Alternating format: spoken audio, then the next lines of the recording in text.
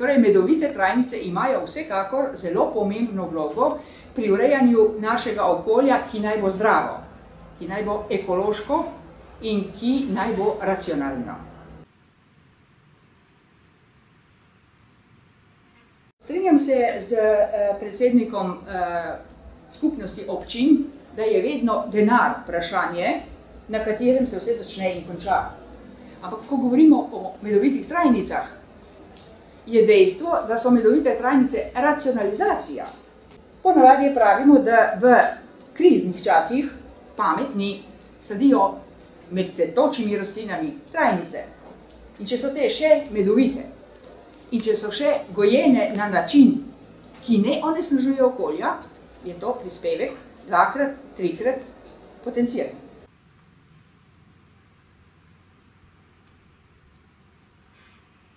Trajnice so tiste rastline, ki so zeljnate, torej ki nimajo lesa, živijo dosti let, prezimijo v naši klimi na prostem, torej to so trajnice.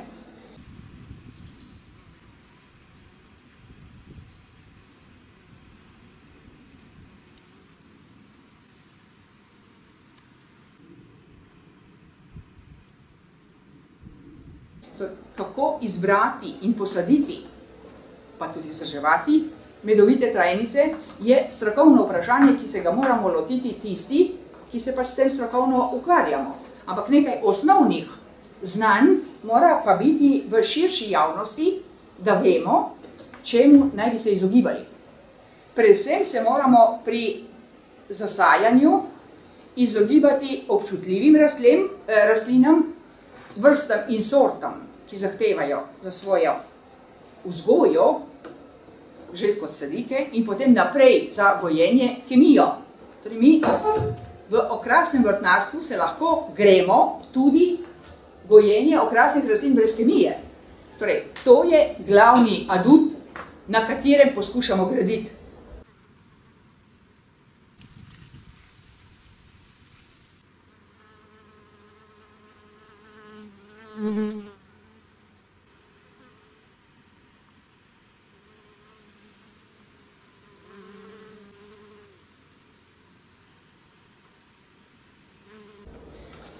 Torej, že pri vzgoji sadik, potem pri zasajanju, zakaj bi pa morali saditi v šotnice?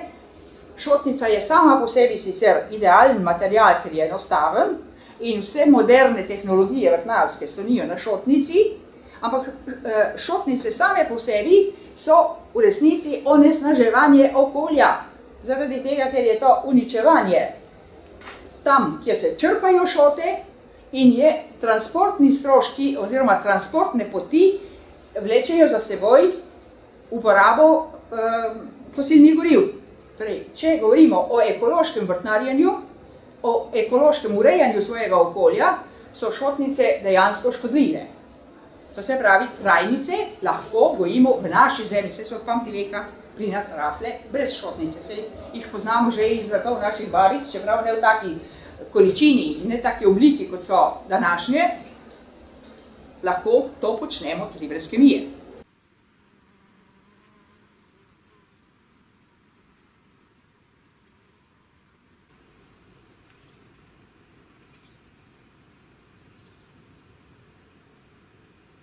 Torej, z okrasnimi trajnicami na javnih nasadih niti slučajno ne bomo mogli poskrbeti, da bi čebele imele paše za preživetje.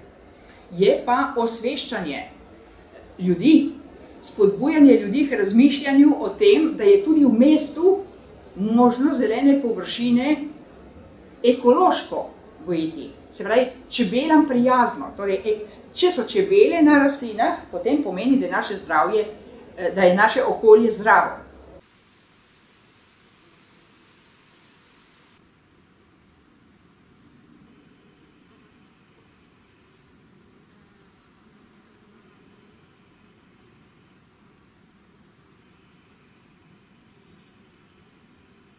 Na desni fotografiji je rastlina v v polnem, polni rasti, pripravljena na cvetenje, konec poletja, v najhujši suši. V soseščini tega nasada hermelike so pa takšne razpoke.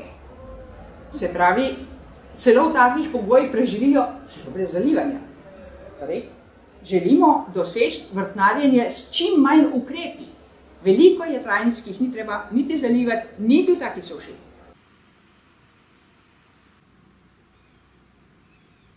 Pa recimo veliko je medovitih tudi dišavnih, zelišč, zdravilnih rastlin. To je eden od drobnjakov.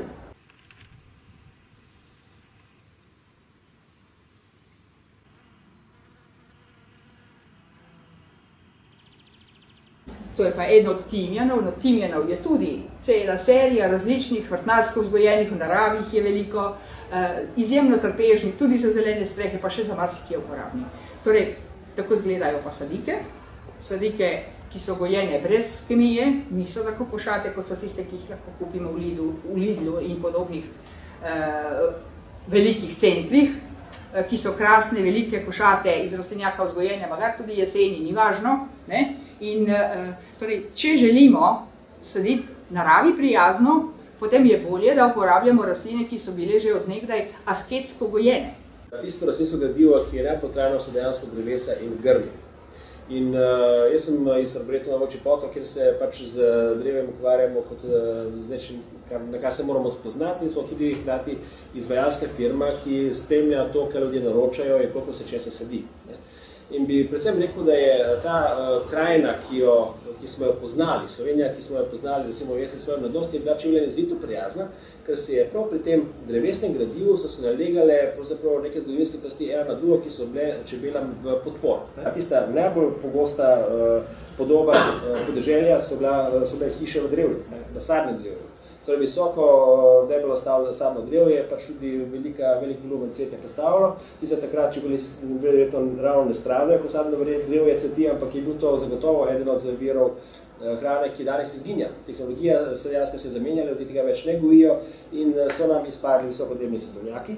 Potem uh, so torej v nemilosti lipe, zato ker uh, lipe imajo poleg cvetja tudi uh, medeno roso in jaz lahko povem, da v arboretumu posadimo na leto maksimalno pet lip.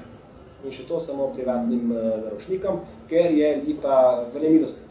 Zakaj to je v nemilosti? Zato, ker paca, gospa, paca, dol pada sladkor. Ne? Sicer to jejo čebele z velikim veseljem oziroma nosijo domov, Ja, ampak eh, ne, ne, se ne heca, ne. Ja. In uh, ljudje so občutljivi. No? In potem pa še ena stvar. Ne? Recimo, mi imamo tudi, eh, potem uh, sodelujemo pri raznih projektih, ko je treba pač načrtovati vrtove tudi za, recimo, za vrtce, za, za šole ali pa za neke neko cestne poteze. Ne? In so naročniki, ki prepovedujejo, da bi sedili rastline, kamor bodo hodile čebele. Ne? Torej, ho, torej stopna amerikanizacije našega razuma oziroma dojevanja sveta je postala že tako, bom rekel, bolana, Ja. da čebele ne smejo na isti vrt, kjer so ljudje. Ne? Ampak, gledajte, to so dejstva, ki se kaže na tem, kaj se naroča. Naroča se v glavnem rastline, ki so na vide sterilne. Ker smem dopolniti. Ja. Zelo se strinjam z vašim izvajanjem, da je v naši družbi nekaj hudo narobe, ko poskušamo čebelo izločiti iz vseh območij, kjer se ljudje gibljajo. Mi imamo celo predpis, ki prepoveduje v bližini šol in vrtcev sajenje recimo strupenih rastlin. No, ampak strupene rastline so del našega okolja. In če mi otroke učimo, umikajte se proč, namesto da bi jih naučili spoznavati, v življenju se bodo srečevali z njimi. Jaz sem rasla v hribih, v vaškem okolju, bosi smo hodili po drugi svetovni vojni, pa je bilo vse polno kač in vse polno strupenih rastlin, pa nikoli ni bilo slišati, da bi se kdo zastrupil ali da bi koga kača pičila. Ker so nas naučili od mehkega naprej, kako se v naravi obnašati. Zdaj pa učimo otroke, naj bodo vati. Izoliramo jih od življenja. Zato, hvala Bogu, da se je Čebelarska zveza pred leti že spomnila stimulirati krožke čebelarske po šolah. Mi smo nekaj, nekaj let bili sponzori in bomo še naprej sponzori. Na sliki ste videli prej, je hčerka pokazala čebelarsko, eh, čebelarski nasad ob šoli. Učence je treba od malega že vrtce učiti sobivanja z čebelami in to najlažje naredimo s pomočjo trajnic, dišavnih zelišč, ki medijo, pa so tam čebelice. Mi smo že bili povabljeni tudi v vrtec, v vrtec, ne samo v šolo, predstaviti medovite, medovita zelišča. In v vrtcih, v vrtcu so posadili gredice medovitih dišavnih zelišč, ki jih potem otroci v kuhinji uporabljajo. Se pravi, akcijo je treba, akcijo je treba razvijati naprej in jaz upam, da bo Čebelarska zveza v tem delovala še naprej, da spremeni tok razmišljanja široke publike o čebelah, o naravi, ki je povezana s čebelami in o rastlinah, od dreves, grmovnic pa do trajnic. No, tukaj bom dal samo čisto kratek komentar. Ne? Tisto, kar je uporabljeno za čebele, je uporabljeno še za celo paleto drugih prosto živečih živali. Tako da v bistvu je to v prid celotne naravi, ne samo čebele in čebelare.